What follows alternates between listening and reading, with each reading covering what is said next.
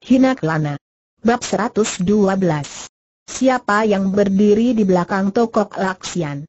Dengan lantang Coleng Tan menjawab, guru kalian mempunyai pandangan jauh dan perhitungan mendalam, beliau adalah tokoh paling hebat dari Gak Tiampe kita, selamanya aku pun sangat kagum padanya.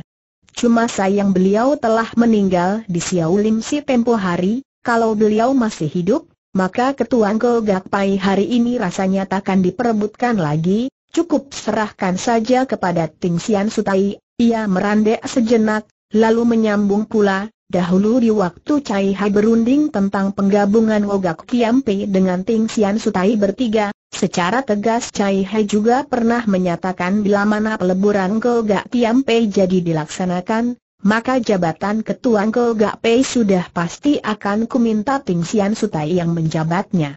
Tak kala mana Ting Sian Sutai secara rendah hati telah menolak usulku, tapi setelah Cai Hai menyarankan dengan sungguh-sungguh, akhirnya Ting Sian Sutai tidak menolak lagi. Tapi, ai, sungguh harus disesalkan, Seorang kesatria wanita yang belum merampungkan Dharma Bakti itu sudah mendahului meninggal di Xiao Lim Si, sungguh membuat hati sedih dan gegetun, berturut-turut ia dua kali menyebut Xiao Lim Si, secara samar-samar ucapannya itu hendak mengingatkan orang bahwa kematian Ting Xian dan Ting Yat Sutai itu adalah perbuatan pihak Xiao Lim Si, seumpama pembunuhnya bukan orang Xiao Lim Pei tapi tempat kejadian itu adalah tempat suci yang diagungkan dunia persilatan, namun pembunuh itu tetap berani melakukan kejahatannya, maka betapapun pihak Xiao Lin Pei harus ikut bertanggung jawab. Tiba-tiba suara seorang serakasar berteriak, ucapan Cho Chiang Bun kurang tepat. Dahulu Ting Sian Sutai pernah berkata padaku, katanya beliau justru mendukung engkau menjadi ketua Gak Pei. Cho Leng Tan menjadi senang, ia coba memandang ke arah pembicara, dilihatnya orang itu berwajah buruk dan aneh, kepala kecil lancip, mata kecil seperti tikus, ternyata tidak dikenalnya. Tapi dari bajunya yang berwarna hitam dapat diketahui adalah orang Hing San Pei. Di sebelahnya berdiri pula lima orang yang berwajah serupa, dan danan juga sama. Ia tidak tahu bahwa keenam orang itu adalah tokoh Laksian. Meski senang dalam hati, tapi lahirnya Chow Leng Tan pura-pura dingin saja, katanya, siapakah nama saudara yang mulia ini?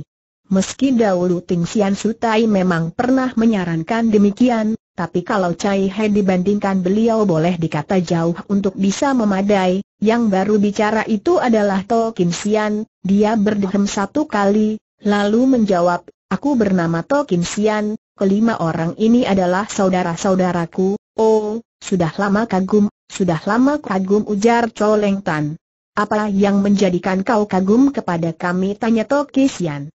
Kagum terhadap ilmu silat kami atau kagum terhadap kecerdikan kami buset, kiranya orang dogol, demikian Coleng Tan membatin dalam hati. Tapi mengingat kata-kata Tokin Sian yang memujinya tadi, ia lantas menjawab, baik ilmu silat maupun kecerdikan kalian sudah lama ku kagumi, Ilmu silat kami sih tidak seberapa, selatokan sian. Bila kami berenam maju sekaligus memang lebih tinggi sedikit daripada kau Cho Beng Chu, tapi kalau satu lawan satu harus diakui selisih rada jauh, namun kalau bicara tentang kecerdikan memang kami jauh lebih tinggi daripadamu, sambung Toho Asian. Betulkah begitu jengek Chow Leng Tan sambil mengerut kening? Sedikit pun tidak salah, sahut Toho Asian. Begitulah dikatakan oleh Ting Sian Sutai dahulu, ya, dahulu di waktu Ting Sian Sutai mengobrol dengan Ting Ching dan Ting Yat Sutai bila bicara tentang penggabungan Engkau Gak Kiam Pei. Seringkali Ting Sian Sutai mengatakan bahwa orang yang paling tepat menjabat ketua Engkau Gak Pei adalah Chobeng Chu dari Kosan. Kau percaya tidak apa yang dikatakan Ting Sian Sutai itu karena Ting Sian Sutai menghargai diriku, tapi aku sendiri tidak berani menerimanya, ujar Chow Leng Tan. Kau jangan senang dahulu, kata To Kim Sian. Sebab Ting Ching Sutai berpendapat lain, beliau mengatakan engkau Cho Beng Chu memang seorang kesatria, kalau dibandingkan para tokoh persilatan umumnya, memang termasuk pilihan yang baik bila engkau diangkat menjadi ketua Go Gak Pei. Namun beliau anggap kau terlalu nafsu, terlalu mementingkan diri pribadi, berpikiran sempit, dada kurang lapang, bila kau jadi diangkat menjadi ketua, maka yang paling celaka tentulah anak murid Hing San Pei yang terdiri dari kaum wanita semua ini, ya, maka Ting Sian Sutai lantas berkata bahwa untuk calon ketua yang bijaksana sudah tersedia enam kesatria sejati di sini, sambung To Kan Sian. Keenam kesatria ini tidak cuma tinggi dalam ilmu silat, bahkan pengetahuannya luas dan cerdik, mereka sangat cocok untuk diangkat menjadi ketua Gak Pei. Enam kesatria jengek Leng Tan. Hektometer, mana keenam orang itu aha, tak lain tak bukan ialah kami bernam saudara ini, jawab Toho Asian. Maka bergemuruhlah suara tertawa orang banyak oleh kata-kata Toho Asian itu. Sebagian besar para hadirin itu tidak kenal Tokok Laksian, tapi melihat wajah mereka yang aneh dan tingkah laku yang lucu, kata-katanya jenaka, malah sekarang mengaku punya kepandaian tinggi dan pengetahuan yang luas. Tentu saja mereka merasa geli begitulah Toki Sian lantas ikut menyambung, dahulu ketika Ting Sian Sutai menyebut keenam kesatria, seketika Ting Ching dan Ting Yat Sutai teringat kepada kami bernam saudara, maka serentak mereka bersorak setuju. Eh, apa yang dikatakan Ting Yat Sutai ketika itu, apakah kau masih ingat, saudaraku sudah tentu aku masih ingat, sahut Tosit. Di tengah sorak gembira ketiga tokoh itu, Ting Yat Sutai lantas berkata, tokoh Laksian memang selisih sedikit kalau dibandingkan Hang Ting Tai Su dari Xiao Lim Si, masih lebih rendah juga kalau dibandingkan Tiong Hai Tot yang dari Butong Pei. Tapi dibandingkan tokoh-tokoh Engkau Gak Tiam Pei pada umumnya boleh dikata tiada seorang pun yang mampu menandingi mereka. Betul tidak? Kedua suci maka Ting Ching Sutai telah menjawab, Sebenarnya bicara tentang ilmu silat dan pengetahuan sesungguhnya Ting Sian Suci masih di atas Tokok Lak Sian, cuma sayang kita adalah kaum wanita, untuk menjadi ketua Gak Pei dan memimpin beribu-ribu pahlawan dan kesatria rasanya rada-rada repot. Maka dari itu, memang paling baik kita menyarankan Tokok Laksian saja yang menjadi ketua Gak Pei semakin mendengar semakin geli Leng Ho Tiong, ia tahu Tokok Laksian sengaja meledek Chow Leng Tan dan mengacaukan pertemuan ini. Kalau Chow Leng Tan berani mengarang ucapan orang-orang yang sudah mati, apa salahnya kalau Tokok Laksian juga membual sehingga Chow Leng Tan mati kutu? Soal penggabungan Engkau Gak Tiam Pei, di antara para hadirin itu kecuali anak buah Kosan Pei beserta sebagian kecil orang-orang yang sudah berkomplot dengan Chow Leng Tan, selebihnya boleh dikata tidak setuju. Ada tokoh-tokoh yang berpandangan jauh seperti Hang Ting Tai Su dan Tiong Hai Tojin, mereka khawatir kalau kekuatan Chow Leng Tan bertambah besar dan kelak tentu akan menimbulkan bencana bagi dunia Kang Ong. Ada yang menyaksikan kematian Tian Bun Tojin tadi secara mengenaskan serta sikap Chow Leng Tan yang garang, hal ini telah menimbulkan rasa benci dan memuakan mereka. Sedangkan orang-orang seperti Leng Ho Tiong dan anak murid Hing San Pei, mereka menduga pasti Chow Leng Tan yang membunuh Ting Sian Sutai bertiga, maka yang mereka cita-citakan adalah menuntut balas, dan dengan sendirinya mereka paling tegas memusuhi pihak Kosan Pei.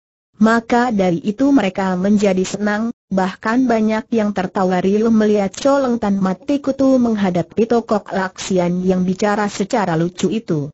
Maka terdengarlah suara seorang berseru, Tokok Laksian, apa yang diucapkan Ting Sian Sutai bertiga itu, siapa lagi yang mendengarkan agaknya pembicara ini adalah begundalnya Chow Leng Tan. Dengan tertawa Tokin Sian menjawab, berpuluh anak murid Hing San Pei juga ikut mendengarkan. Betul tidak? Nona adalah menahan rasa gelinya dan menjawab, betul. Cho Chiang Bun, Kau sendiri bilang guruku menyetujui penggabungan engkau gak Tiam Pei, siapa lagi yang mendengar ucapan beliau ini? Wahai para suci dan sumoai dari Hing San Pei, adakah di antara kalian pernah mendengar ucapan demikian dari suhuku tidak? Tidak pernah dengar, jawab berpuluh murid Hing San Pei secara serentak.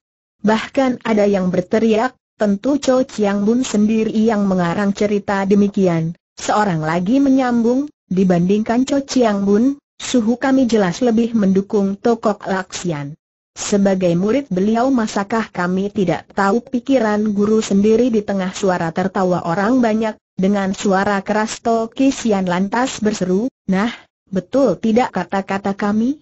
Kami tidak berdusta bukan?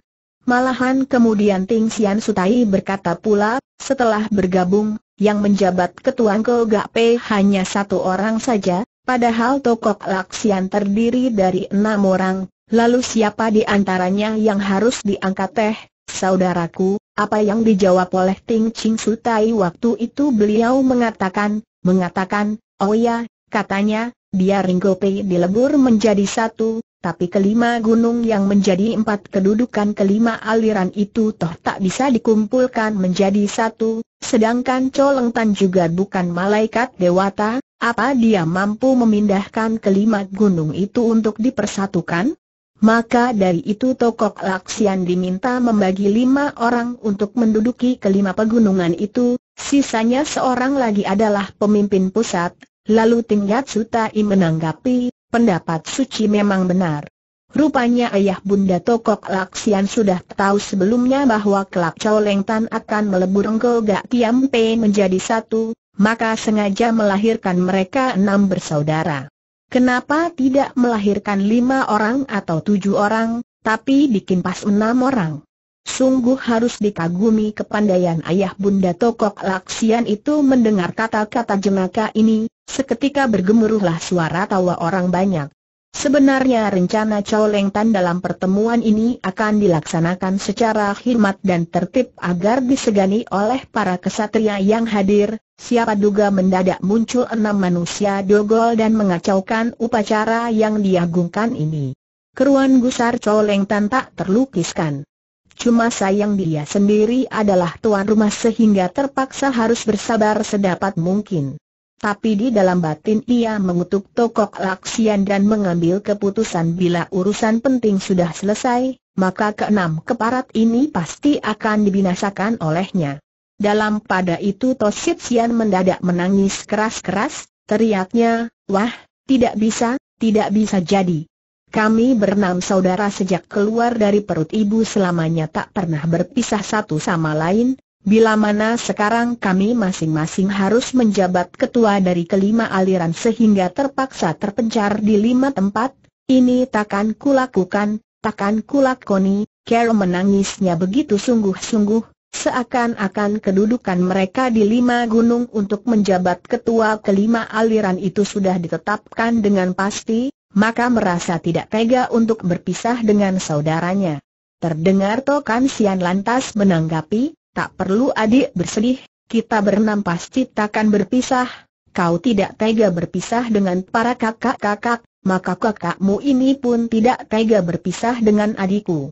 Maka jalan paling baik supaya kita tidak diangkat menjadi pemimpin kelima gunung yang terpisah jauh satu sama lain itu, terpaksa kita harus menyatakan anti penggabungan Engkau Gak Kiampe ini, ya, saya umpama benar harus dilebur juga perlu tunggu sampai nanti di tengah Engkau Gak Kiampe sudah muncul seorang pahlawan sejati, seorang kesatria tulang yang lebih berwibawa daripada kita berenam, yang cocok untuk memimpin Go Gak Pei. Dengan begitulah baru kita dapat menyetujui penggabungan ini, melihat keenam orang itu masih terus mengoceh Pak Keruan, Coleng Tan pikir harus ambil tindakan tegas dan tepat untuk mengatasi keadaan, maka segera ia berteriak, sesungguhnya Ketua Hingsan.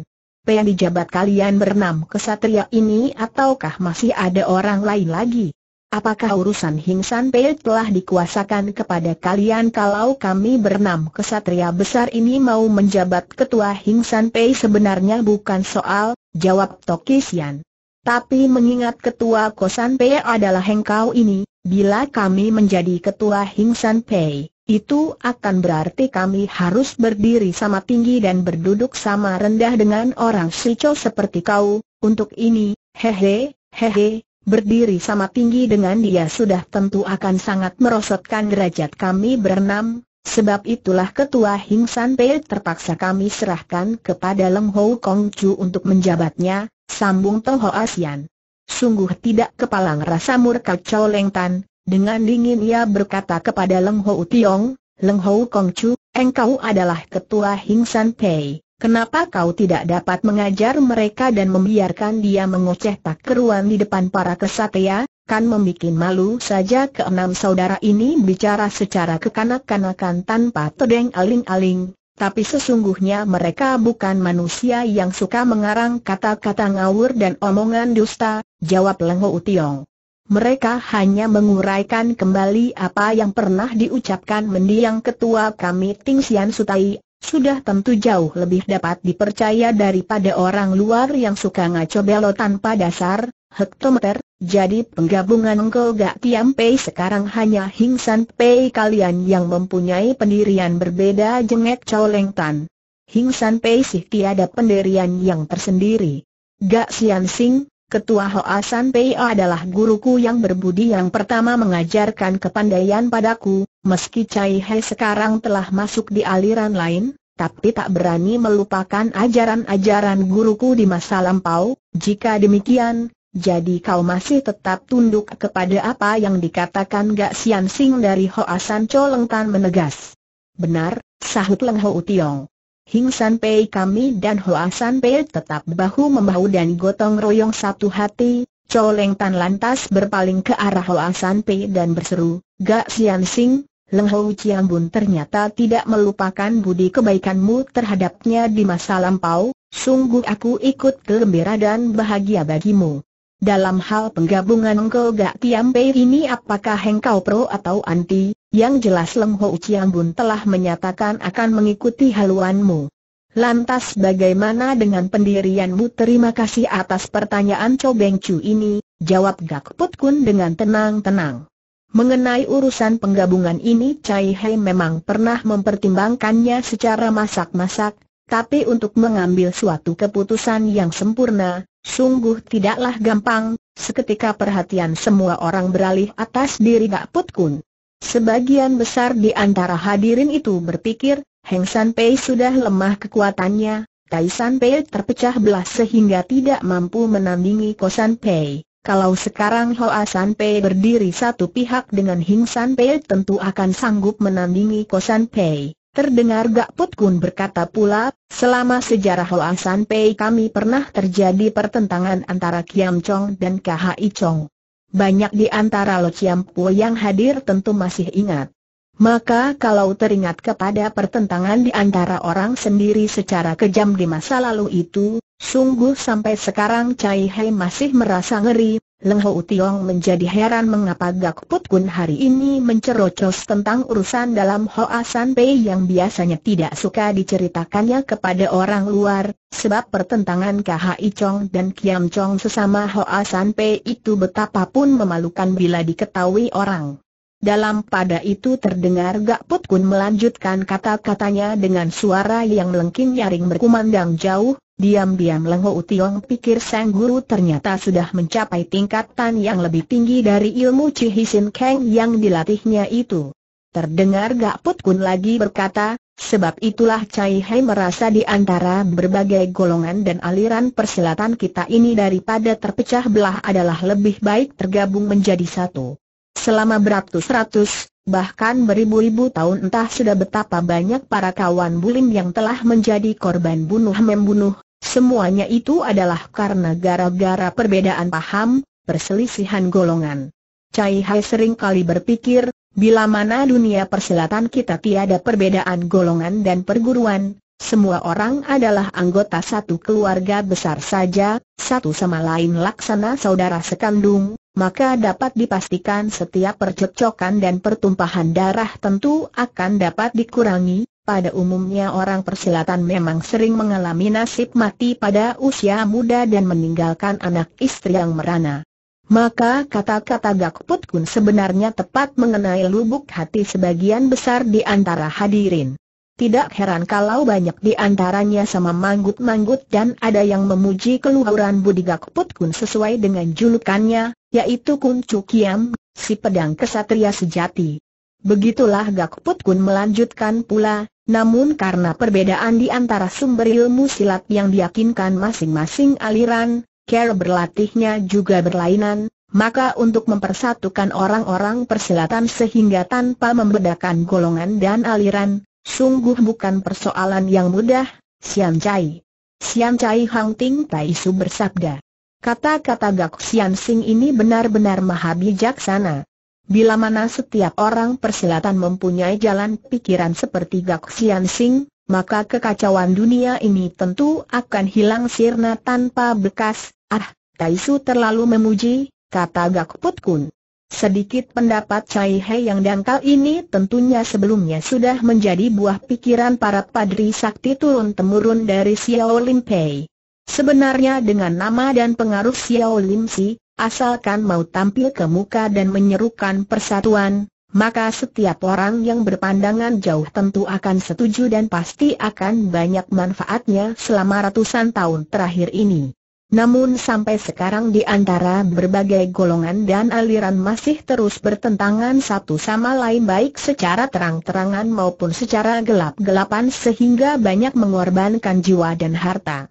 Bahwasanya selama ini banyak di antara tokoh bijaksana telah menyelami betapa besar bencana yang ditimbulkan karena perbedaan golongan dan aliran, lalu mengapa kita tidak bertekad untuk melenyapkannya?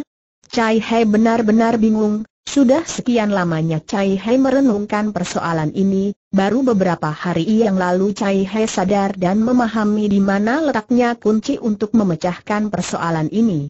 Karena urusan ini menyangkut nasib setiap kawan persilatan, Cai Hai tidak berani merahasiakan hasil pemikiranku ini, maka ingin ku kemukakan di sini dan minta pertimbangan para hadirin. Silakan bicara, silakan bicara, seru orang banyak. Pendapat Gelak Sian Sing pasti sangat bagus setelah suasana rada tenang kembali barulah Gak Put Kun bicara pula, setelah Cai Hai merenungkan secara mendalam, akhirnya ku ketemukan titik persoalannya. Rupanya penyakit kegagalan daripada usaha penghapusan perbedaan golongan dan aliran ini sering kali disebabkan usaha yang terburu nafsu. Maklumlah, golongan dan aliran persilatan kita berpuluh-puluh, bahkan beratus-ratus banyaknya, setiap golongan juga sudah bersejarah sekian lamanya, kalau sekaligus hendak melenyapkan sejarah golongan masing-masing boleh dikatakan masih sulit, jika demikian, jadi menurut pendapat Gelak Sian Sing adalah tidak mungkin untuk menghapuskan perbedaan golongan dan aliran? Jika betul demikian bukankah pendapat Gelak Sian Sing ini sangat mengecewakan harapan orang ujar Choleng Tan.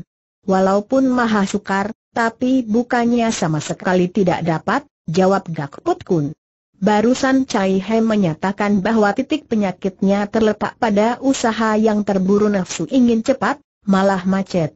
Jadi caranya yang harus diubah, asalkan haluannya berubah, lalu dihadapi bersama dengan segenap tenaga oleh para kawan, apakah usaha ini akan berjalan sampai 50 tahun ataupun 100 tahun, tapi akhirnya pasti jadi, wah, perlu 50 tahun atau 100 tahun, kan para pahlawan dan kesatria yang hadir sekarang ini hampir semuanya sudah masuk kubur ujar Choleng Tan. Kaum kita hanya perlu berusaha sepenuh tenaga, Soal akan berhasil atau tidak dari usaha kita bukan soal, kata Gak Put Kun. Ini namanya leluhur tanam pohonnya dan keturunan memetik buahnya.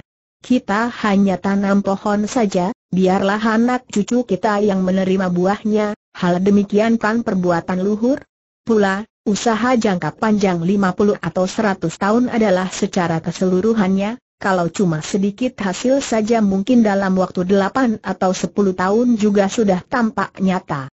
Dalam 10 atau 8 tahun sudah akan tampak hasil nyata walaupun hanya bagian kecil, ini sungguh sangat bagus.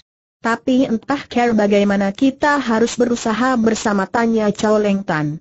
Gak Put Kun tersenyum, jawabnya, seperti apa yang dilakukan Cho Beng Chu sekarang adalah perbuatan baik yang bermanfaat bagi kaum persilatan umumnya. Bahwasanya sekaligus kita hendak menghapus perbedaan pandangan di antara berbagai golongan dan aliran boleh dikata sukar terlaksana, tapi kalau diusahakan agar golongan-golongan yang tempatnya berdekatan, yang ilmu silatnya mendekati sejenis atau yang mempunyai hubungan lebih rapat, Lalu di antara mereka diadakan peleburan sebisanya, maka dalam waktu tidak terlalu lama perbedaan golongan dan aliran di dunia persilatan kita, tentu akan berkurang sebagian besar. Seperti halnya peleburan di antara Engkau Gak Tiampe kita adalah suatu bukti nyata bagi golongan-golongan lain, ucapan terakhir Gak Put Kun ini seketika membuat para hadirin menjadi gempar, banyak yang berteriak, oh, kiranya Hoa San Pei juga setuju penggabungan Engkau Gak Tiampe. Leng Ho Tiong juga sangat terkejut, pikirnya, tak terduga suhu juga menyetujui penggabungan, padahal aku sudah menyatakan akan ikut haluan suhu, apakah aku mesti menarik kembali ucapanku dengan cemas? Ia coba memandang ke arah Hong Ting Tai Su dan Tiong Hai Tojin, dilihatnya kedua tokoh itu sama menggeleng padanya dengan wajah yang rada lesu. Maka terdengar Coleng Tan berkata, sebenarnya maksud Kosan Pei menghendaki penggabungan hanya demi kepentingan kita bersama, sebab kalau bergabung jelas kekuatan menjadi besar, sebaliknya kalau bercerai tenaga menjadi lemah. Tapi dari uraian Gak Sian Sing tadi ternyata penggabungan Engkau Gak Tiam Pei kita masih dapat mendatangkan manfaat-manfaat begitu besar, sungguh aku menjadi seperti pintar mendadak, Lalu Gak Put Kun berkata pula, sesudah kita bergabung, bila kita ingin memperbesar pengaruh, lalu mengadu kekuatan dengan golongan lain, maka akibatnya hanya menimbulkan bencana di dunia persilatan. Sebab itu asas tujuan peleburan kita ini harus mengutamakan hindarkan pertentangan dan akhiri permusuhan. Menurut dugaanku banyak di antara kawan persilatan tentu khawatir penggabungan kita ini pasti akan merugikan pihak lain, dalam hal ini aku dapat menyatakan supaya kawan-kawan ini janganlah khawatir, banyak di antara hadirin menjadi lega mendengar jaminan Gak Put Kun itu, tapi ada juga yang masih ragu-ragu dan kurang percaya. Jika demikian, jadi Hoa San Pe jelas juga setuju penggabungan tanya Chow Leng Tan. Benar, jawab Gak Put Kun.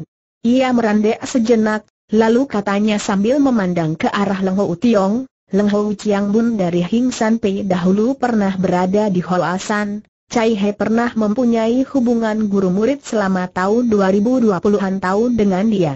Sejak dia meninggalkan Hoa San Pei, Syukur selama ini dia masih ingat akan hubungan baik di masa silam dan tetap mengharapkan agar Cai He dapat kumpul bersama lagi dengan dia dalam suatu aliran yang sama. Dalam hal ini tadi Cai He sudah menyanggupi dia bahwa untuk kumpul kembali di dalam suatu aliran bukanlah soal sulit, bicara sampai di sini, wajahnya menampilkan senyuman manis.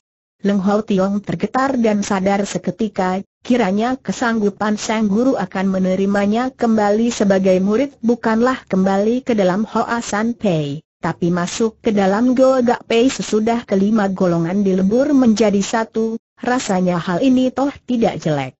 Apalagi tadi suhu telah menyatakan sesudah dilebur menjadi satu, maka asas tujuannya adalah menghindari pertentangan dan mengakhiri permusuhan. Kalau nanti Hoa San Pei, Hing San Pei ditambah dengan Heng San Pei berdiri di satu pihak, ini berarti akan lebih besar pengaruhnya daripada Ko San Pei dan Tai San Pei sehingga asas yang dikemukakan suhu ini dapatlah dijalankan. Selagi Leng Hou Tiong dibuai oleh pikirannya sendiri, terdengar Cho Leng Tan lagi berkata, Syukurlah bahwa Gak Sian Sing dan Leng Hou Chiang Bun sejak kini telah dapat berkumpul kembali dalam suatu keluarga besar. Terimalah ucapan selamat dariku menyusul banyak di antara hadirin juga bersorak menyatakan syukur. Tapi mendadak Toki Sian berteriak, tidak, urusan ini tidak baik, sangat tidak baik, kenapa tidak baik, tanya Tokan Sian. Jabatan Ketua Hing San Pei bukankah tadinya adalah hak kita berenam saudara tanya Toki Sian, betul serentak Tokan Sian berlima menjawab. Tapi lantaran kita sungkan menjadi ketua segala, Makanya kita serahkan jabatan itu kepada Leng Ho Tiong dengan suatu syarat bahwa dia harus membalaskan sakit hati kematian Ting Sian Sutai bertiga, betul tidak? Dan kalau tidak melaksanakan tugasnya itu berarti jabatannya sebagai ketua menjadi batal, betul tidak begitulah setiap kali Toki Sian bertanya, serentak Tokan Sian berlima mengiyakan pula setiap kali. Namun pembunuh Ting Sian Sutai bertiga jelas berada di tengah Gogak Pea juga, kata Toki Sian pula. maka menurut pendapatku, besar kemungkinan pembunuh itu si Cok kalau tidak suci, atau bisa jadi si Cuci. Bila mana Leng Ho Tiong jadi masuk engkau gak pay, itu berarti tidak akan menjadi saudara seperguruan dengan manusia jahanam sico atau suci atau cuci dan itu berarti pula dia tak mampu membalaskan sakit hati Ting Sian Sutai bertiga, benar, sedikit pun tidak salah, seru Toko Enggo Sian. Alangkah gusarnya Chow Leng Tan, pikirnya, keparat, kalian berenam berani menghina aku di depan umum, bila kalian dibiarkan hidup lebih lama tentu banyak ocehan-ocehan tidak senonoh yang akan kalian lontarkan terhadapku, dalam pada itu To Kim Sian sedang berkata, kalau Leng Ho Tiong tidak membalaskan sakit hati Ting Sian Sutai berarti dia batal menjadi ketua Hing San Pei, bukan? Dan kalau dia batal menjadi ketua Hing San Pei berarti dia tidak kuasa lagi mengurusi kepentingan Hing San Pei, bukan? Dan kalau dia tidak kuasa lagi berarti tidak boleh bicara atas nama Hing San Pei dalam soal penggabungan ini, bukan setiap kali ia tanya, setiap kali pula Toko Enggo Sian yang lain mengiyakan. Kini Tosit Sian yang bicara, tapi lowongan ketua tidak boleh selalu kosong, bila Leng Ho Tiong tidak menjadi ketua Hing San Pei, sepantasnya diangkat orang lain yang lebih sesuai, bukan? Adapun calon ketua yang punya ilmu silat tinggi dan pengetahuan luas sudah sejak dulu dinilai oleh Ting Sian Sutai, bukan benar jawab Tokok Ngerosian. Semakin keras yang bertanya, semakin nyaring pula suara kelima orang yang menjawab. Lantaran merasa lucu, pula maksud Tokok Laksian itu jelas sengaja main gila terhadap Kosan Pei, maka sebagian di antara hadirin itu ikut senang, Malahan ada di antaranya lantas ikut-ikutan bersuara, setiap kali Tokok Laksian bertanya jawab, berpuluh orang hadirin juga ikut-ikut mengiyakan. Ketika Gak Put Kun setuju penggabungan Engkau Gak Tiam Pei tadi, diam-diam Leng Ho Tiong merasa cemas dan bingung, sekarang demi mendengar ocehan tokok laksian yang tak keruan itu, dalam hati kecilnya timbul rasa senang seakan-akan keenam orang dogol itu telah menyelesaikan soal sulit baginya.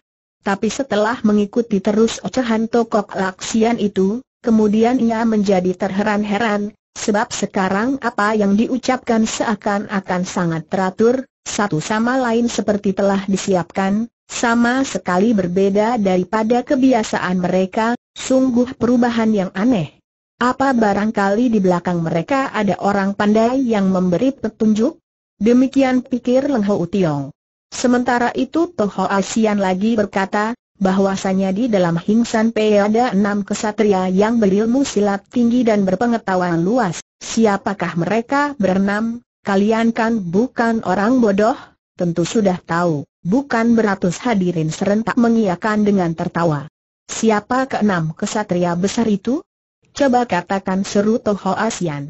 Siapa lagi kalau bukan kalian Tokok Laksian teriak beratus orang dengan suara liu. Itu dia. Dengan demikian, jadi jabatan ketua Hing San Pei terpaksa kami berenam menerimanya untuk melaksanakan tugas yang suci sesuai dengan harapan orang banyak, cocok dengan pilihan umum, sesuai dengan kehendak bapak mertua, dan, dan, karena kata-katanya yang melantur, para hadirin sampai terpingkal-pingkal saking geli. Sebaliknya orang-orang kosan Pei sangat mendongkol, banyak di antaranya lantas membentak, persetan. Kalian berenam keparat ini sengaja mengacau apa di sini? Lekas enyah semua dari sini aneh bin heran jawab Tokisian kalian kosan P dengan segala daya upaya berusaha hendak melebur engkau gak tiam P menjadi satu, sekarang kami para kesatria Hingsan P telah sudi berkunjung ke kosan sini, tapi kalian malah mengusir kami pergi dari sini. Bila kami berenam kesatria besar ini angkat kaki dari sini, segera para kesatria kecil, para pahlawan betina Hingsan P yang lain juga akan ikut pergi dari sini, Lalu soal penggabungan engkau gak pay kalian itu akan macet setengah jalan, akan mati dalam kandungan dan, dan, gugur. Nah, baiklah, para kawan Hing San Pei, karena kita sudah tidak diperlukan lagi, marilah kita pergi dari sini, biarkan mereka mengadakan peleburan si Pei, empat aliran, saja. Kalau Chow Leng Tan kepingin menjadi ketua si Gak Pei biarkan saja, kita Hing San Pei tidak sudi ikut campur, dasar Giho, Gijing, Gilin, dan lain-lain sudah teramat benci kepada Chow Leng Tan, demi mendengar ajakan Toki Sian itu, serentak mereka mengiyakan, seru mereka, benar, hayolah kita pergi dari sini ke ruang Chow Leng Tan berbalik ke labakan, ia pikir kalau Hing San Pei pergi, itu berarti Go Gak Pei akan tinggal si Gak Pei. Padahal sejak dahulu kala di dunia ini telah kenal Engkau Gak, tidak pernah kenal si Gak segala. Jika Sigak bergabung dan aku menjadi ketua Sigak Pei, rasanya juga tidak gemilang, sebaliknya malah akan ditertawai oleh orang-orang persilatan.